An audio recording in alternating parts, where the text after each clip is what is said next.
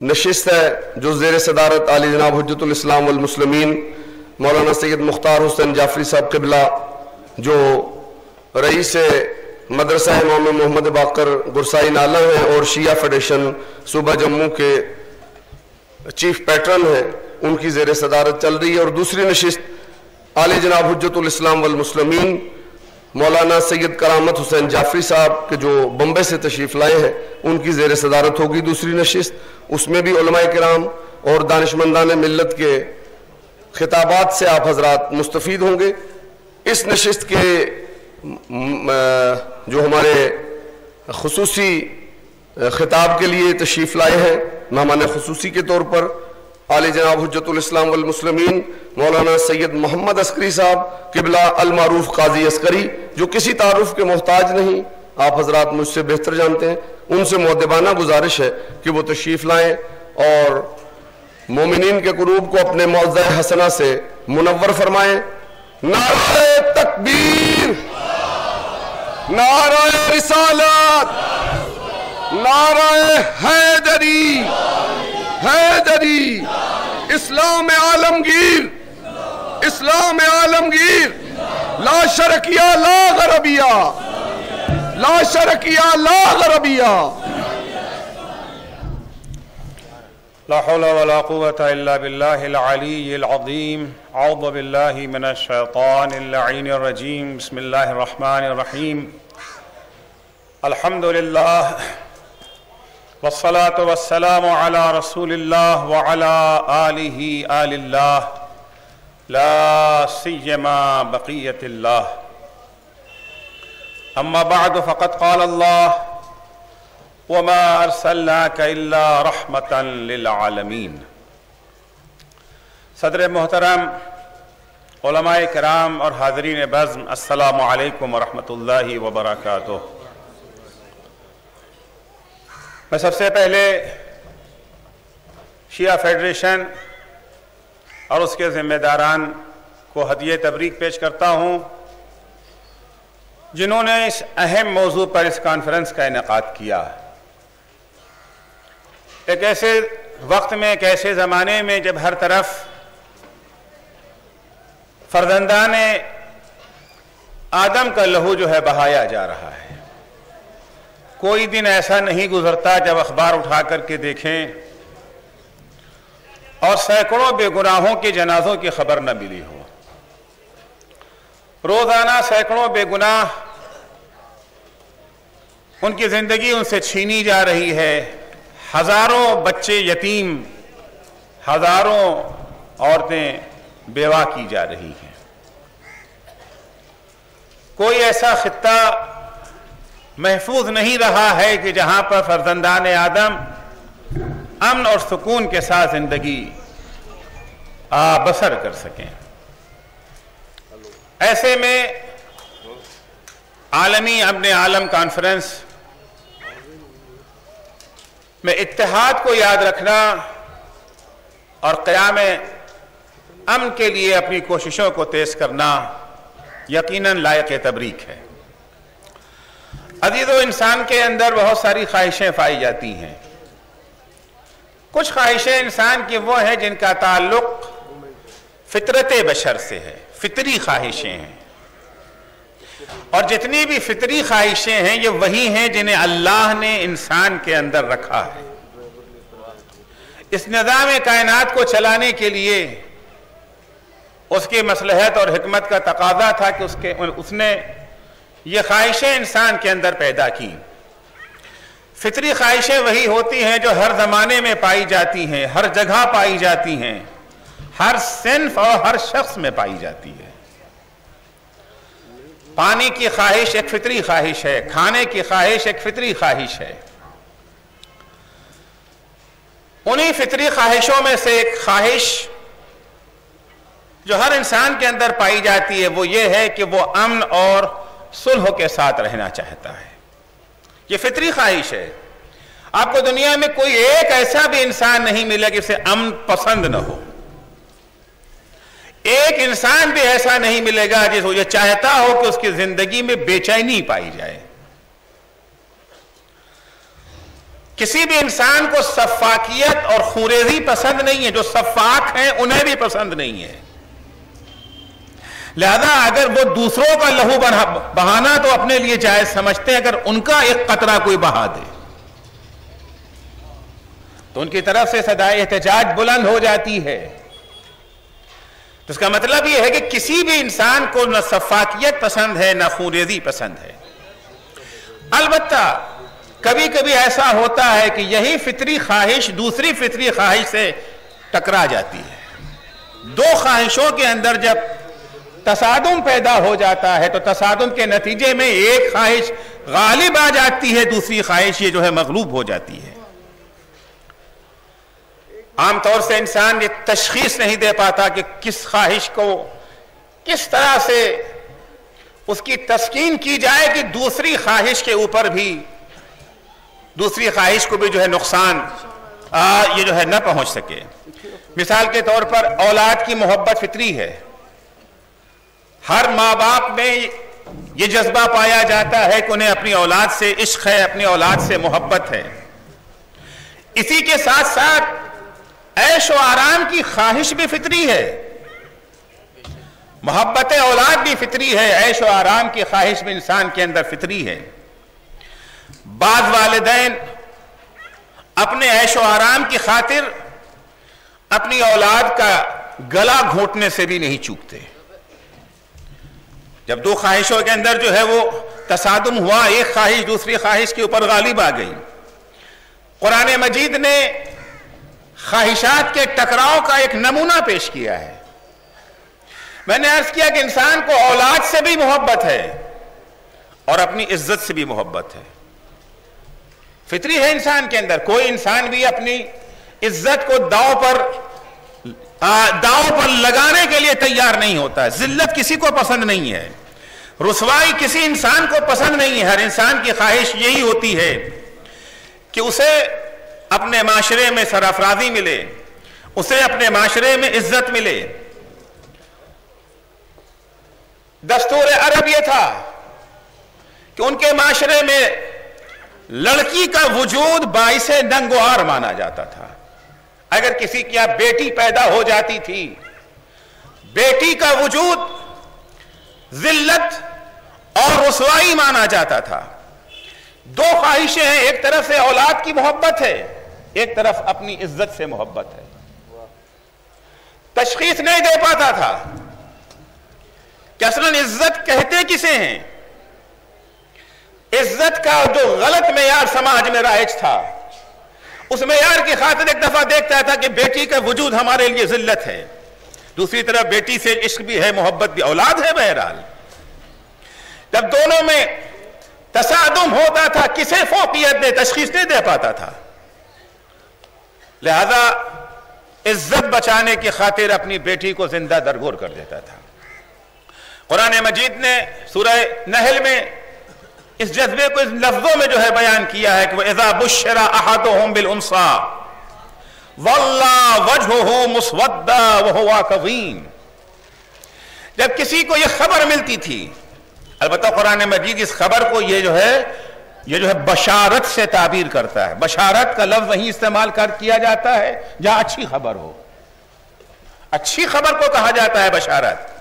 جب انہیں بشارت دی جاتی تھی، کیونکہ قرآن کی نگاہ میں بیٹی کا وجود نہ صرف یہ کہ باعث ننگ و آر نہیں ہے، بلکہ باعث بیٹی کا وجود باعث افتخار ہے۔ اللہ جل شانوں نے بیٹے کو بھی اہمیت دی ہے اور بیٹی کو بھی اہمیت دی ہے۔ نعمت بیٹے کو قرار دیا اور رحمت بیٹی کو قرار دیا ہے وَإِذَا بُشَّرَ أَحَدُهُمْ بِالْأُنْصَى جب کسی کو ان میں سے خبر دی جاتی تھی کہ تمہارے یہاں بیٹی پیدا ہوئی ہے ظَلَّا وَجْهُهُ مُسْوَدَّا وَهُوَا قَغِيم غصے کی شدت سے اس کا چہرہ سیاہ پڑ جاتا تھا۔ اتنی بڑی مصیبت۔ کیا منہ دکھائیں گے لوگوں کو؟ کیا جواب دیں گے لوگوں کو؟ ہماری عزت و عبرو داؤ پر لگ گئی ہے۔ يَتَوَارَ مِنَ الْقَوْمِ مِنْ سُوءِ مَا بُشِّرَ بِهِ۔ یہ جو اچھی خبر تھی، اسے جو ہے بری خبر تصور کر کے وہ اپنی قوم سے منہ چھپائے پھرتا تھا۔ ایم سے کو ہو اعلیٰ ہو ام یدس ہو فیصلہ کرنا اس کے لیے یہ جو ہے مشکل ہو رہا تھا کہ کیا اس لڑکی کو یہ جو ہے زندہ رکھ کے اپنی عزت و آبرو کو جو ہے نیلام کر دے، داؤ پہ لگا دے، یا اسے زندہ آدرگور کر دے۔ اور آخر میں فیصلہ یہی کرتے تھے اکثر کہ ہم ذلت جو ہے برداشت نہیں کر سکتے ہیں۔ بیٹی کو جس سے محبت تو ہے اولاد سے، اسے زندہ درگور کر دیا جاتا تھا۔ اللہ سا ما یحکمون کتنا غلط فیصلہ ان لوگوں نے کیا ہے۔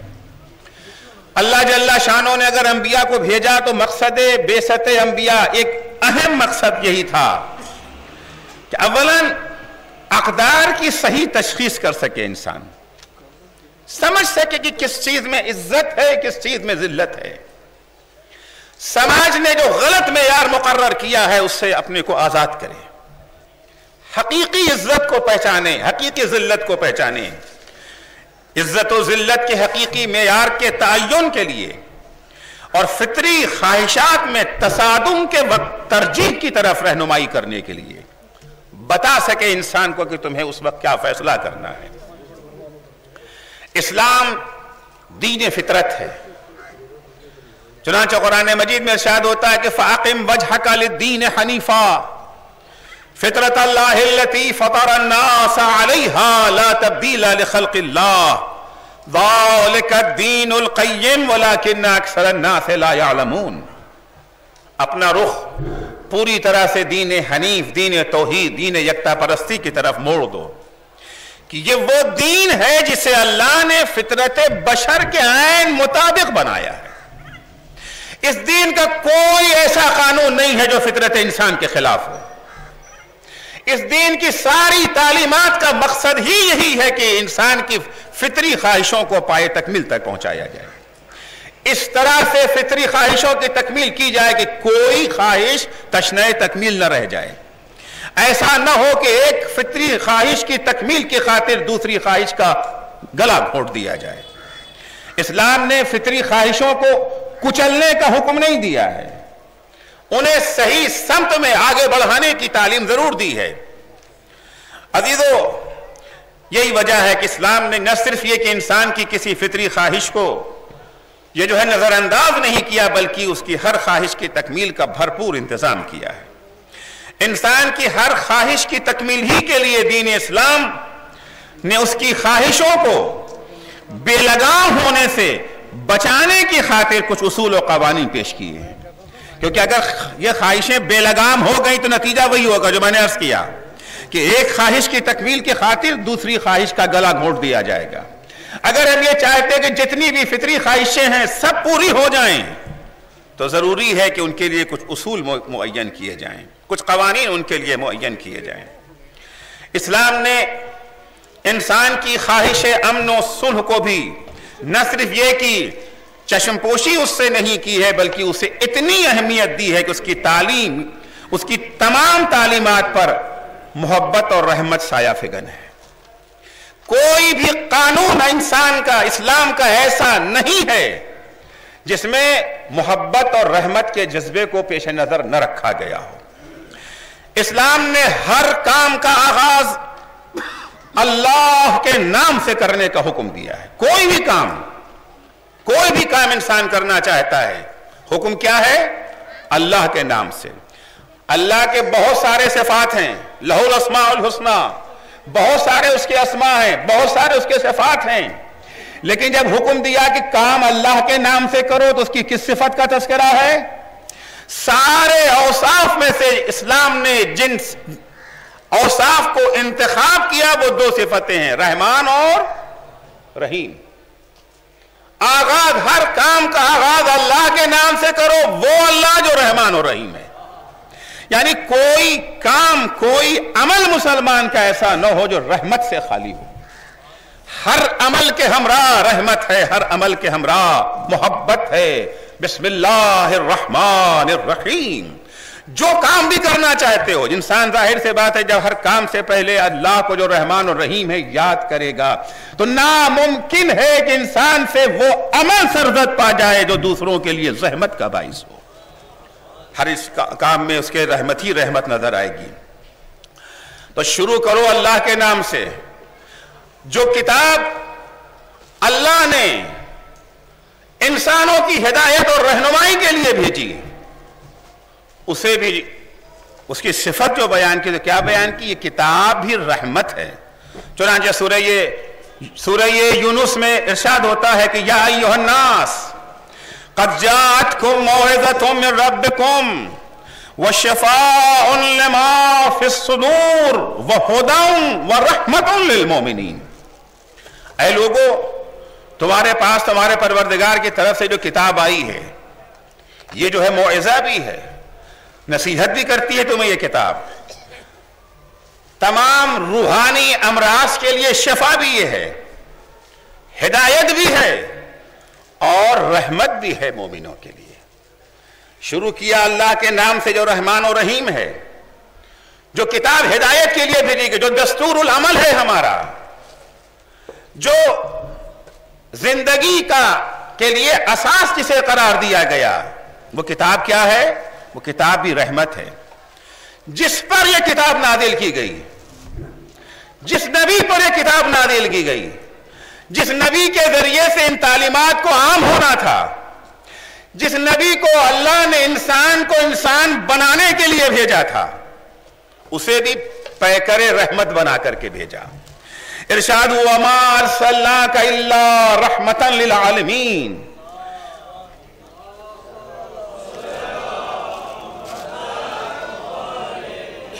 اب سلوات بھیج ہی رہے ہیں تو سب لوگ یہ جو ہے مل جل کر کے سلوات بھیجیے۔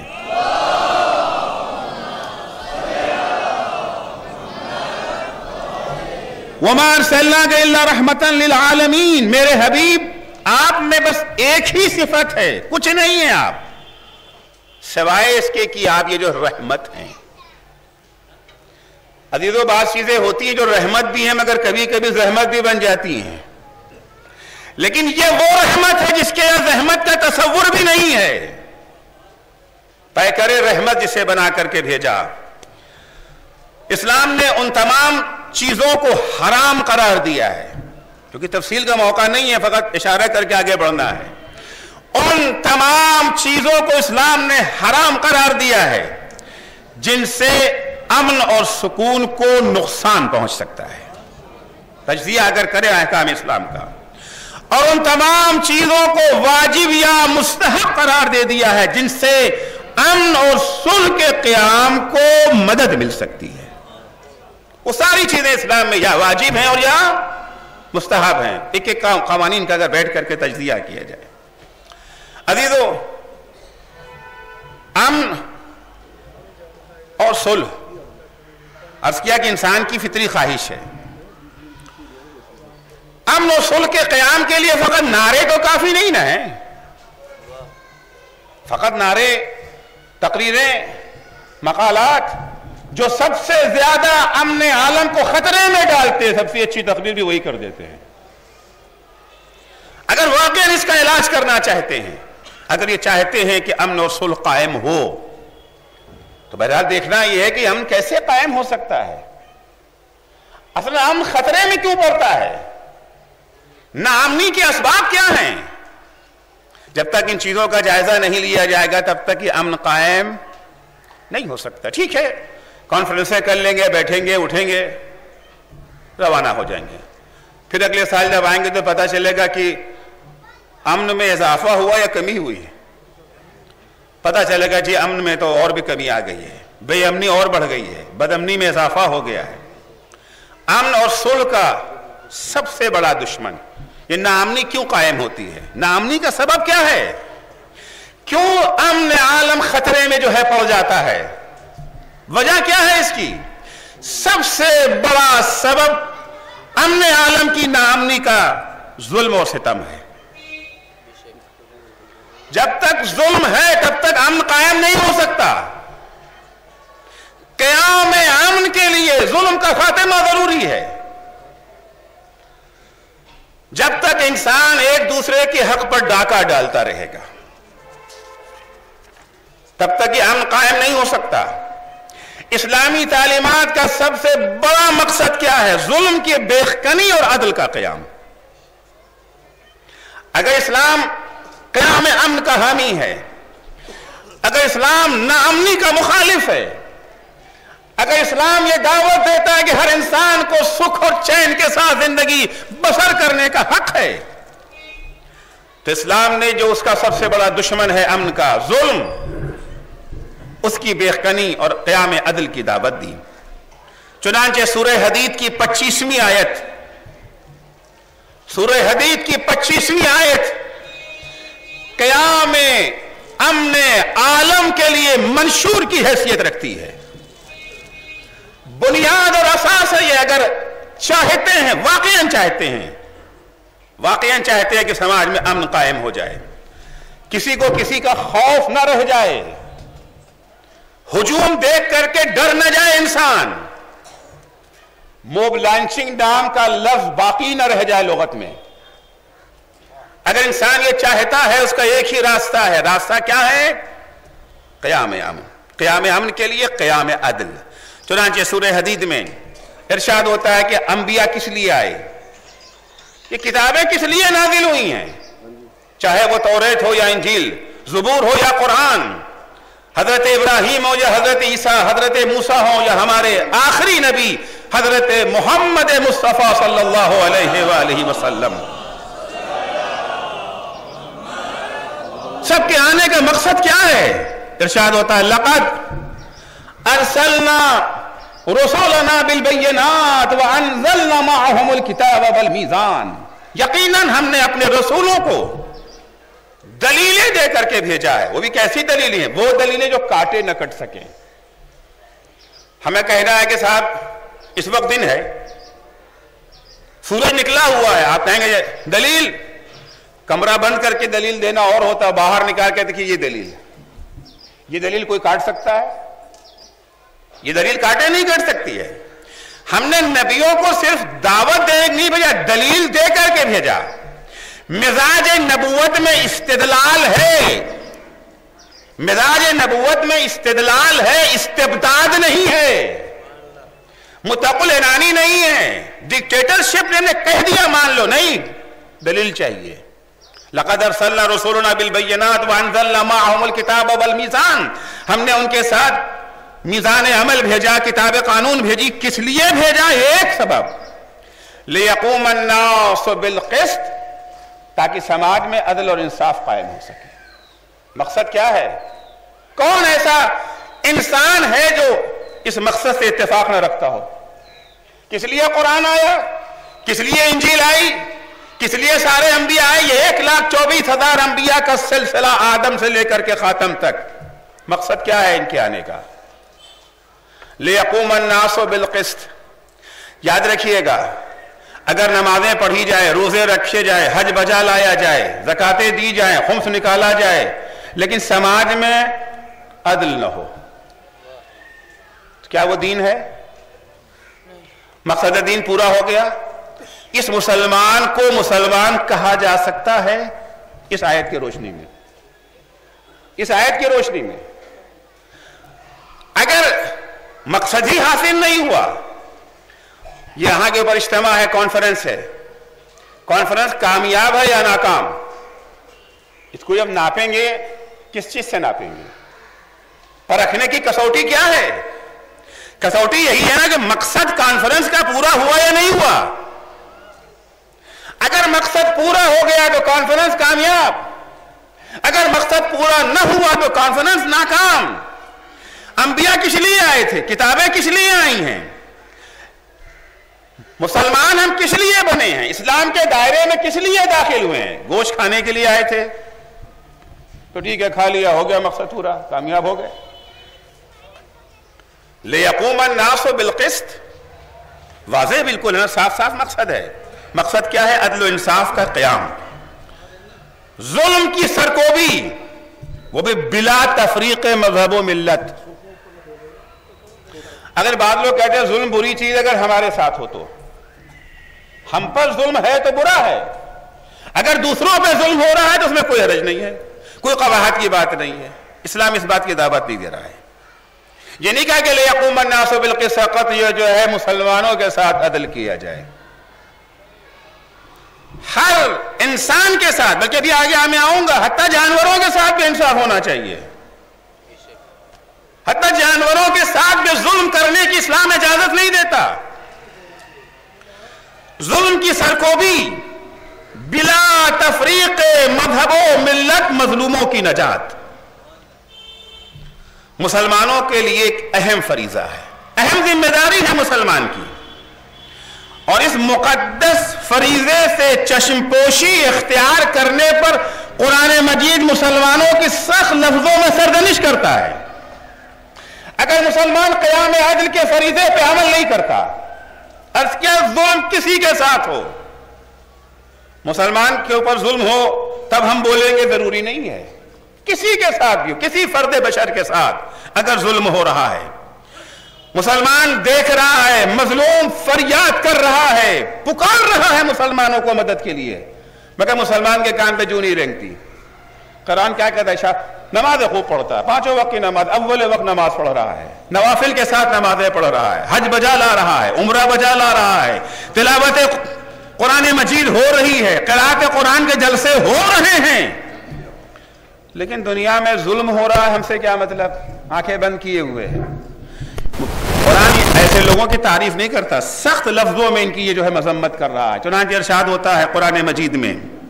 سورہ نساء کی آیت ہے، وَمَا لَكُمْ لَا تُقَاتِلُونَ فِي سَبِلِ اللَّهِ والمستضعفين مِنَ الرِّجَالِ وَالنِّسَاءِ وَالْوِلْدَانِ الذين يقولون ربنا اخرجنا من هذه القرية الظالم اهلها واجعل لنا من لدنك وليا، واجعل لنا من لدنك نصيرا۔ اے مسلمانوں، آخر تمہیں ہو کیا گیا؟ کتنے بے غیرت ہو گئے ہو تم؟ تمہاری شرم و حیا کہاں چلی گئی ہے؟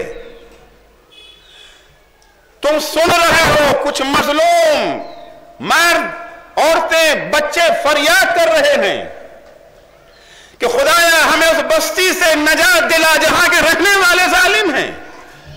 ایک مددگار اپنے پاس سے بھیج دے، ایک ولی اپنے پاس سے بھیج دے۔ ان کی فریادوں کو سن رہے ہو، ان کی مدد کے لیے تم قیام نہیں کرتے۔ کیا ہو گیا ہے تمہیں؟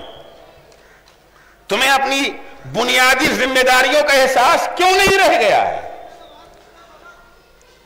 شاید اتنی مذمت ترک نماز پر نہیں ہے، شاید اتنی مذمت ترک روزہ پہ نہیں ہے جتنی مذمت یہاں پر کی گئی ہے۔ اسلام اس اہم فریضے سے روح گردانی کو اتنا بڑا جرم سمجھتا ہے کہ حضرت محمد مصطفیٰ صلی اللہ علیہ وآلہ وسلم